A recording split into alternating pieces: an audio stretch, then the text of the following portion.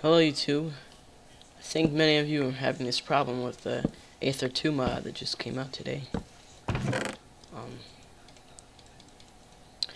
see, um, the problem is if you have not enough items,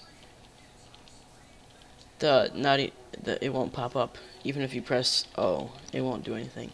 What you need to do is you need to break yourself a block of wood. And um, make yourself a crafting table or a furnace or a chest. Place it down and it'll pop up right here. I assume this is because of the new GUIs in the Aether 2 mod. So uh, hopefully that fixes your problem. Bye.